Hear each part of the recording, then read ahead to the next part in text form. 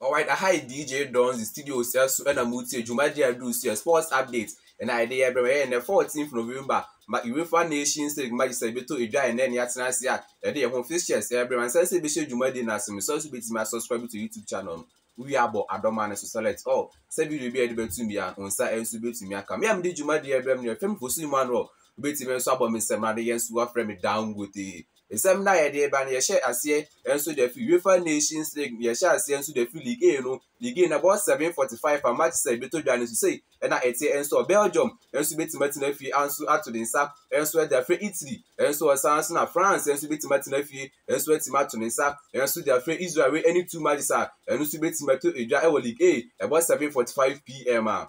Wokɔ League B no nso a, ɛbɔ three o'clock PM yi a Kazakhstan nso betumi atena afie ato ne nsa nso de afrɛ Australia. Saa nso na Greece nso betumi atena afie ato ne nsa de ade afrɛ The Three Lions of England. Saa match a meka yi, ɛno nso betumi ato gya seven forty five PM. Saa nso na Ireland nso betumi atena afie nso atumi ato ne nsa de afrɛ Finland. Match nso betumi ato gya seven forty five PM. Saa nso na Slovenia nso betumi atena afie nso ato ne nsa nso de afrɛ Norway. Saa match no nso betumi ato gya seven forty five PM. Wokɔ pm nso wɔ Uefa Nations League hɔnom na league sii no nso ɛbɔ five o'clock pm yɛɛyɛ a Armenia nso bɛtena fie nso atumi ato ne sada fɛ Faroe Island nso ɔsan so na North Macedonia nso bɛtumi atena fie nso atumi ato ne nsa de afɛ Latvia match nso bɛtumi atɔ dwa seven forty five pm wei ɛne sɛdeɛ matches a ɛbɛtɔ dwa ɛfa Uefa Nations League mu sei ɛna ɛno nso ɛteɛ hɔnom sɛ nso bɛkɔ so na follow YouTube channel no bɔ adɔma no sɛ video bɛyɛ de bɛtum biara no nsa nso ɛbɛtumi aka